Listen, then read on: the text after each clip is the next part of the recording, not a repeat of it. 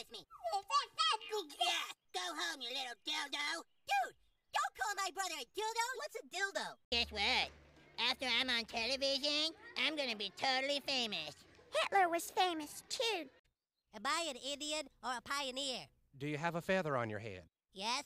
Then you're an Indian. What's a dildo, Kenny? yeah, that's what Kyle's little brother is, all right. Children, to honor this special time of year, we'll be doing a canned food drive. Does anybody know what a canned food drive is? Yes, Eric? When they cut up a chick's stomach to get a baby out? No, that's a cesarean section, Eric, but that's okay. Remember, there are no stupid questions, just stupid people. I'll be that gin. You boys want to tie one on? No, no thanks. That stuff tastes like pee. Yeah, Cartman's pee. Ah, you would taste my pee. What the hell's wrong with you? Can't you handle a little alcohol?